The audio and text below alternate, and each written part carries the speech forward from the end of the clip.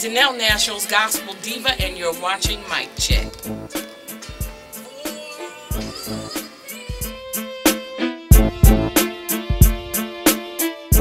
Thank you so much for joining us each and every Sunday morning, as you do. Because without you, there is no us, and the reason why we are here is because of you.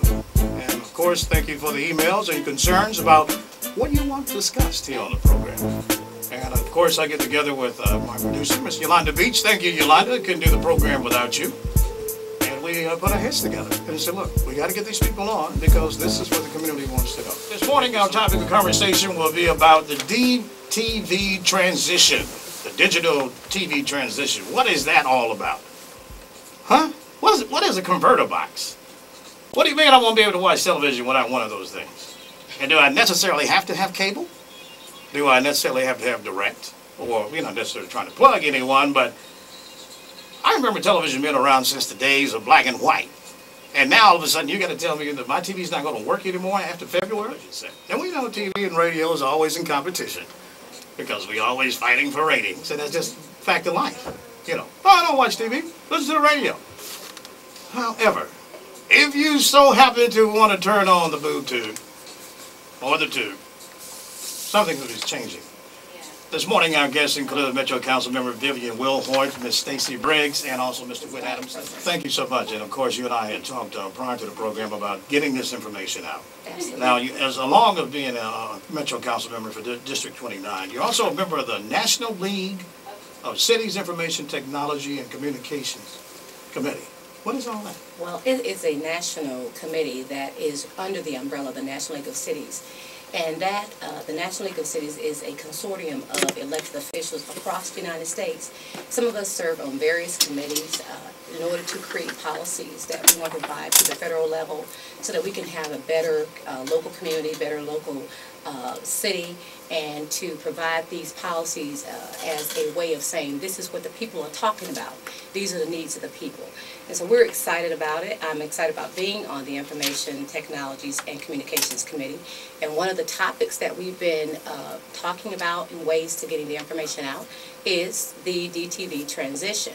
Uh, not only have we talked about those, that topic, we've also talked about broadband expansion uh, as far as infrastructure. As you know, that's one of the new administration's initiative is to expand infrastructure. You know, many of us see infrastructure as being streets and roads and sidewalks, but it's also in the area of communications. And broadband is one of those things that we're very excited that may be included.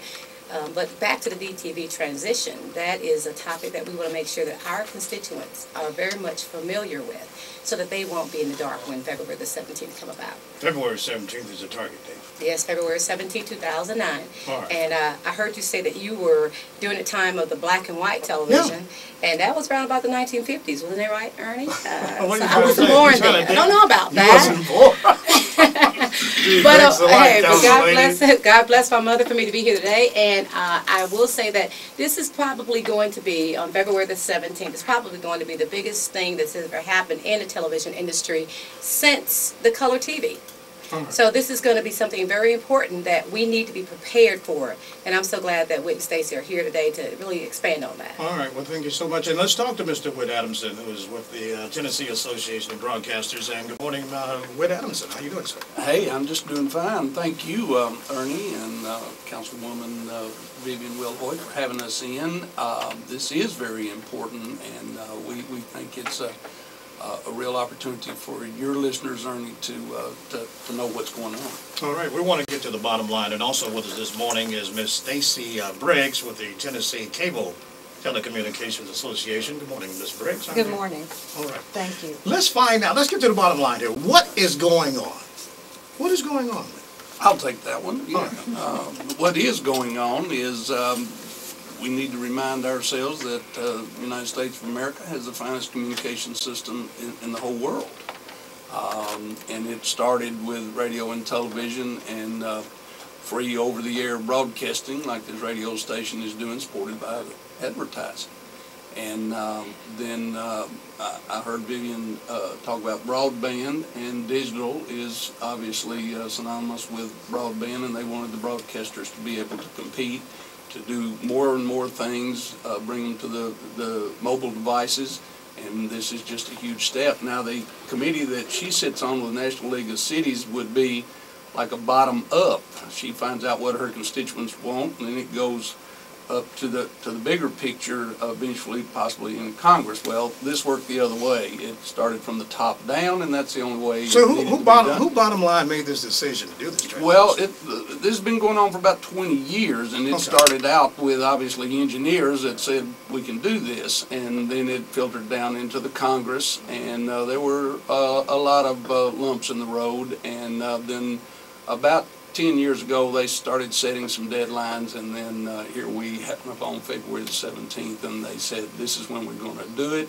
And, um, so all the, uh, television, uh, stations across the country in conjunction with the associations like the Tennessee Association of Broadcasters and the National Association of Broadcasters are uh, working to make sure everyone knows what's going on and what this process, although difficult by some measures, it's very simple, uh, very inexpensive, and there are a few ifs, ands, or buts, and that's what we'll talk about today.